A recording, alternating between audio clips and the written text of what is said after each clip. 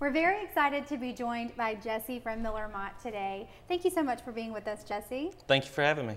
So, you know, the great thing about Miller Motte is that you guys really assist students with finding careers after they graduate, and that's huge because a huge part of you know, graduating and being on the prowl for a job is, is really difficult these days. And that's one of the things I tell a lot of prospective students is the thing that makes us unique is we're two-part mission. Get you trained and then get you employed.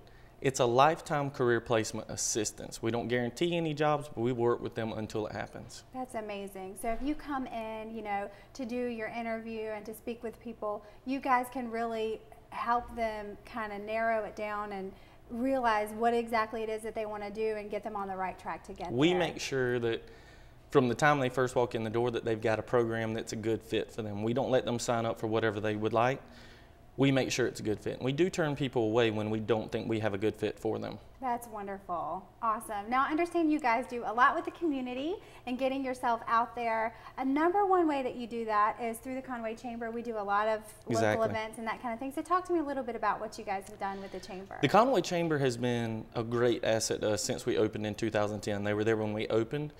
They were there a few months later when we debuted our Serenity Spa, and then they were there just yesterday when we unveiled our newest program, our CDL program. They did the ribbon cutting for us. Very neat. So I always say the Chamber of Commerce, especially um, Conway, works as a marketing branch, they work as a networking branch, and they even work as your Rolodex to help you find contacts. Very cool. Well, we're so glad that you are a member of the Conway Chamber of Commerce, and thank you so much for being with us today and sharing a little bit about Miller Motte. If you're interested in checking out some of the programs they have, you see the contact information right here on the screen, and they'll be happy to direct you and help you out.